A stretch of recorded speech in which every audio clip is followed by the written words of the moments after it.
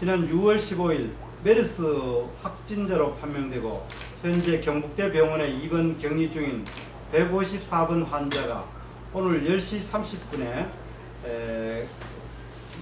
격리 해제를 위한 1차 검사를 의뢰하여 14시 30분에 음성으로 결과가 나왔음을 시민 여러분들에게 알려드립니다. 향후 24시간 이후에 격리 해제를 위한 2차 검사를 실시할 예정입니다. 이 경우에도 음성으로 판정될 경우에는 질병관리본부의 메르스 어, 관리 지침에 의하면 두 번의 음성 판정이 나오면 주치의 판단하에 퇴원 여부를 결정하도록 되어 있습니다.